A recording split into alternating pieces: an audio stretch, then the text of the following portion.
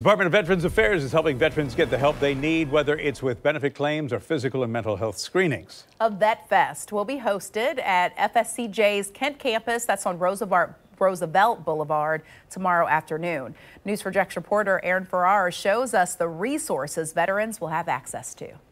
Timothy Sperry is a retired Army Command Sergeant Major. He served this country proudly for 34 years.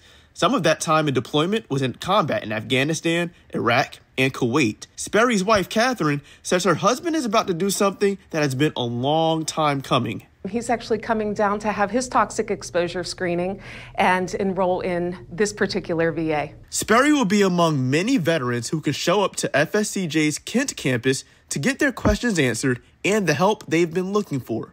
Catherine Sperry is the suicide prevention supervisor for the North Florida and South Georgia VA health system. We want all veterans to understand and know that we're here to help. We want them to have all of the benefits that are available to them. Some of the services that will be available include healthcare enrollment, toxic exposure screenings, VA benefit claims assistance, mental and whole health resources, and PACT Act education. So, if you're a veteran thinking about showing up to this event, if you're already enrolled in the VA, all you really need to bring with you is a photo ID. But if you're not already enrolled, there are three specific things you should bring with you. A photo ID, a copy of your military records if they're available, and a copy of your DD-214. It means a lot to be able to serve those who have served us. That was Josh Pridgeon, the Associate Director for Primary Care and Outpatient Services. Pridgeon says the PACT Act stands for Promise to Address Comprehensive Toxins Act. It was signed into law last year and it expands VA health care and benefits for veterans exposed to burn pits,